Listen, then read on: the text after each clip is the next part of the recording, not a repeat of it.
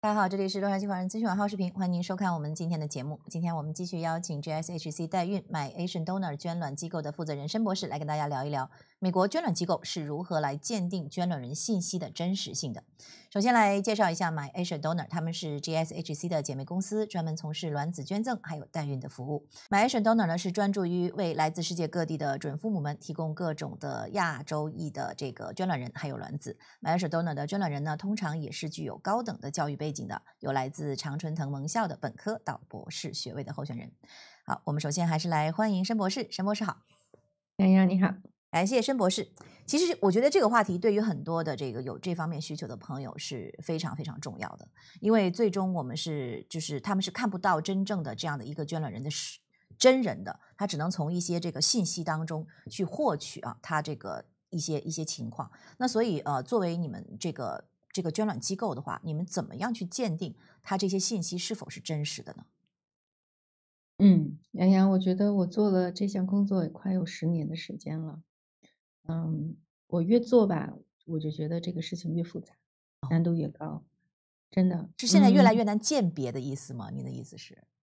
那倒不是，我是觉得，当然我们做这个工作，我们希望越做越好，嗯对吗？嗯那我们就会希望这个 donor 提供的这个信息呢，能够更加全面，更加真实，对吧？我我觉得，所以大家在，但是我有的时候会有这样的问题，当我们的客户问我的真实性，或者说你怎么能保证你不造假的时候，我其实是 心里很难受的，我是一个，对吧？我觉得我怎么会造假呢？对，我要要要是假的也也是我被骗了呀。我说我这个这个活了这么大，我就不值得去造假，对吗？嗯对吧？对，有的时候会有这样的一些，但是我非常理解客户的这个心理。是是，我觉得大家在看待这个问题的时候呢，要看待两个方面，一个就是呃主观的和客观的，对吗？就是主观上，我们作为中介机构会不会造假？我觉得至少我能说我不会，嗯我机构不会，对吧？就是说，我们甚至更希望我们的 donor 能够提供更加真实准确的信息。我觉得这个事情是这样的，就是我们的嗯，就是在美国呃工作也好，或者是呃学习工作的人也好，可能思维呢，呃，有的时候呢还是会有一点比较直接的哈。就是说，对于我们机构来讲的话，我宁可不要这个 donor 去做，对吧？我也嗯不愿意给你就是提供一个呃不好的 donor。嗯就是我们在这个 mindset 上面，我们不是说我要去作假来呃，比如说做一个学历是怎么样的，或者是 P 一个图让这个人更漂亮。我觉得这个不是我们的一个目标。我宁可多去呃做更多的工作来找到更好条件的捐卵人，但是我不愿意一次充好，或者是提供不真实的信息，这个是主观上的问题。嗯，作为一个中介的话，但是客观上有一定的能力，就是我能够在他提供的信息里，我能够验证多少，对不对？所以我觉得，嗯，但是对于客户来讲的话，他他他拿到的是整个的这一套东西，无论你是主观客观的，对他来说都是这一套，对吗？所以，我们对于一个 donor 的这种鉴定的话呢，有几个方面大家来看，一个嗯是他的个人信息，对吗？就是他提供的身高好啊，体重也好呀、对吗？他的这个 教育背景也好，他的喜好也好，那么还有一些呢是他的家庭信息，那么还有一些呢是他的身体情况，对吧？对，那么他的这个个人信息这个方面，其实我们可以从他的 ID 呀、来判断他的身高体重啊，甚至我们有的时候我们见到 donor 之后，我们自己会量一下呀，对吧？那这些是我们能够愿意去确定的。那么我们大家很多亚裔的人会，就是客户会在乎他的学历，嗯那学历怎么鉴定呢？学历我们当然会要他的，嗯，比如说他的毕业证啊，对吧？他的这个，嗯，这个呃叫 transcript，就他的这个学学分记录啊，对吧？嗯或者是他的这个入学证明。但有的时候很难说，我这一样三次我哪一样都拿到，对吗？就是说我有的客户说我是不是 offer 要有，transcript 要有，毕业证明也有，这个有的时候难度大一点。因为我们可能这个东西在家里面，或者我在很老的邮件里面找不到了，对吧？也要取决于这个 donor 的配合度。那么与此同时，现在其实社交媒体也蛮广的，我们有的时候也会去做一些其他方面的一些佐证，嗯。对吧？就尽最大能力的去判断这个人到底是谁，他过往经历是怎么样的，他提供的这个信息是否是真实。的，嗯，这个是工作中很重要的一部分。那么在长相这个方面，然后很多客户会说啊，我们现在的这个女孩子的照片都是 P 过的，对，所以都是美颜过的，嗯。对，但是大家要意识到一点，就是现在人可能没有人想提供一个没有 P 过图的图给别人，有可能是的，对吗？就我嗯们自己拿照片，我们也不会说素颜的就去做一下。对啊所以说呢，嗯、你所看到的这些资料，可能是能看到他的大概的长相、他的气质，对吧？那甚嗯至你你我们会尽量的提供有小的时候儿时的照片，这样的话，你其实是可以看到他的轮轮廓和骨架的。对不对对，但是呢，素颜照片也是可能的，但是可能在我们的 database 里不会马上就放上去。对，这个还是一个颜控的世界啊，我觉得还是还是有这个情况。但是但是其实呃，相对来说，嗯我觉得呃，欧美人他们对于素颜照片可能会比更加 open 一点，对不对？哎，欧美就不一样。你看，我们做欧美的话呢，他们愿意做 open donation 的更多。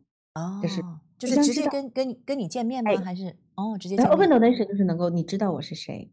但是呢，我们欧美人呢的 donor，因为我们有很多高学历的捐卵人啊，我们哈佛、耶鲁的、斯坦福这些我们都有。那他们的想法呢就不太一样，他会说：“我希望知道你的信息也很多，我想知道这个宝宝在什么样的家庭上长大。啊，对，啊，对，所以我们通常，比如说我们有了 profile，我们同时有的时候还会有 video，同时有的时候他们也会自己去交流、去见面，会嗯有一些情感上的这样的一些沟通。嗯就是他要保证我所捐赠的这个卵子所提供的家庭能够保证这个孩子是健康成长的。嗯，那素颜也好，他们还会有很多其他的，比如说爱好方面的一些交流。嗯，其实我觉得像这种可能会是不是就是在您的经验里面，像这种是不是更加的，就是更加的这个 make sense 一点？你觉得，还是说就就就是看一张纸，然后看一张照片会更加的这个好？您觉得哪一种方呃式？我觉得，我认为本身大家要怎么看待捐卵这个事情，就是因为很多人大家找捐卵的时候，大家会觉得为什么有人会捐卵？我首先要告诉大家，大家所捐卵不是到这个 donor 的卵子想取出多少颗取出多少颗，其实我们用的是这个捐卵人这一个月经周期排出的卵泡里面的那些卵子。嗯，也就是说，如果他不用这些卵就浪费了，浪嗯费了，嗯这是它能够起到一个愿意捐卵的一个基础。嗯对吧？而且现在的用药剂量也好，对于身体的影响不是特别大，所以一个 donor 是可以捐六次的。嗯那么在这种基础上，我觉得欧美的人对这个想法其实就觉得，很多人觉得它是一个有意义的事情。对，就是因为我觉啊得可能是跟他们有信仰有关，对不对？嗯，就会很多人会觉得这个，呃，我其实我贡献了，因为对尤其是像有些人他，那么同性恋的家庭他就需要一个捐卵人。那如果我这一个月的这个卵子用不到的话，我为什么不把它捐献出去？我还有更多的未来呢？当然，对，有些自己的基因也不错，我觉得 pass on 自己的基因也不是一件不好的事情。嗯这个事情，但是你看，我们亚裔的捐卵人相对保守一点，我们亚裔的客户也会保守一点，是的，对是的吧，是的，还有我们大部分的亚裔的客户会选择匿名。所以，我觉得大家在选择机构的时候，或者是在做这方面的时候，一定要意识到有哪些是，对吧？我客观上可能做不到的。如果你今天选择要以匿名捐卵，那你就得允许我把名字盖住，对不对？嗯你那么剩下的东西，你就得选择中介来去帮你把它完成。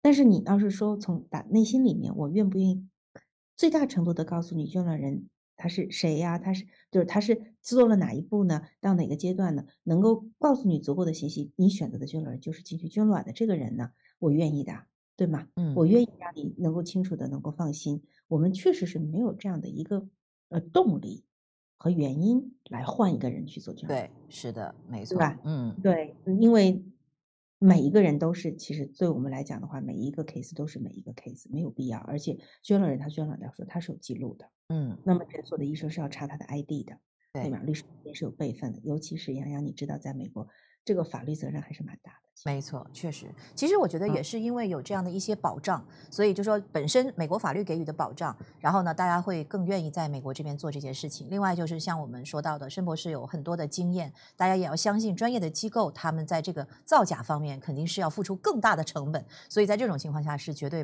不可能，就是在申博士这里找到一个假的 捐卵人的信息。我觉得这个大家可能是要考虑的。